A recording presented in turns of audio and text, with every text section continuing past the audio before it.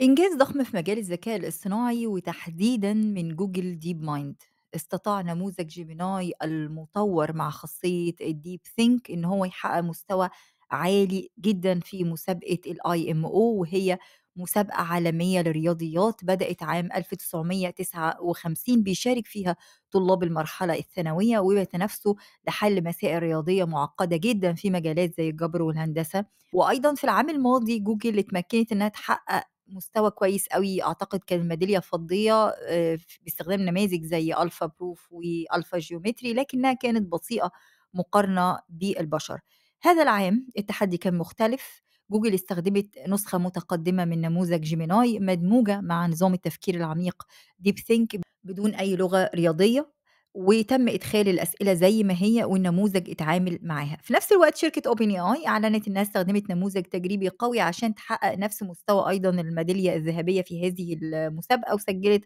35 نقطة من أصل 42 وقالت إنها أصدرت إثبات على حل ال5 أسئلة.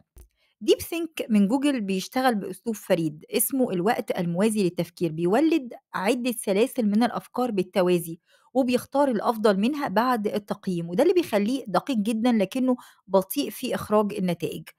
بشكل عام النموذج ده تم اختباره على مسائل من اختبار ال AIME لعام 2025 وكانت النتائج مبهرة وقدر إن هو يوصل للإجابات الصحيحة بعد أكتر من 13 دقيقة آه، من التفكير والتحليل. بشكل عام نقدر نقول إن النموذج ده يعني لو سألنا كده هل هو الأفضل للبرمجة؟ لأن دايما كتير أوي بيسألوا هل هو هيكون مناسب للبرمجة؟ ممكن يكون مش مناسب لأن النموذج بيحتاج وقت طويل جدًا مقارنة بنماذج زي Gemini 2.5 Pro يُفضّل استخدامه في المرحلة الأولى لوضع الهيكل العام، ثم استكمال الكود بنموذج أسرع، وده كلام آآ جوجل. نموذج Gemini Deep Think متوفر حاليًا عبر تطبيق Gemini للمشتركين فقط في الخطة Ultra، وهيتم توفيره قريبًا عبر ال API في Google Cloud وال AI Studio أتمنى إن هو يتوفر قريبًا في ال AI Studio عشان إن شاء الله نجربه بشكل عملي، ولكن نقدر نقول الخلاصة إن Deep Think أو Gemini Deep Think هو هيكون مذهل في التفكير العميق والمنطق، الحاجة اللي بتتطلب منطقية في التفكير،